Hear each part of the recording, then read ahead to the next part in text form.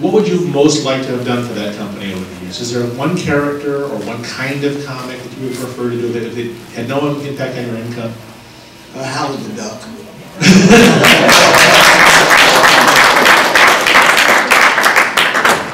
What was it about that strip that, Well, Steve Gerber. Steve Gerber, who wrote Howard the Duck, was the funniest guy. I, seldom ever sat down before doing a story and would read through the script. I generally had a feeling of how the script would go. So there was a beginning, a middle, and an end to it, and I could see where it was going.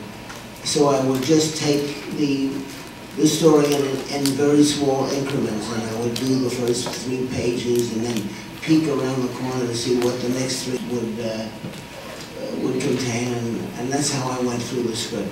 Um, but uh, with Steve, it was a, a treat to sit down and read the whole thing because I was in for a, a, a wonderful time. He was a very funny fellow. Uh, nothing like that. I've never done anything like Howard before, nor have I ever seen anything like Howard before. His whole take on life was uh, something that I appreciated.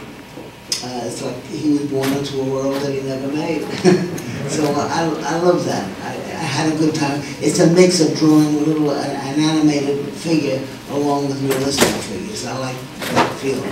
Thank you. Oh, uh, I had a question about uh, working with Steve Gerber.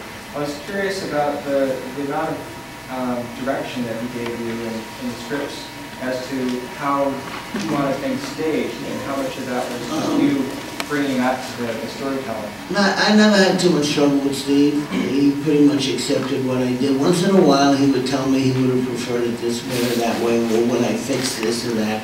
That's fine. I would do that, sure. I'm not good with changes. I can tell you right now, I, I give it my best shot, and that's it.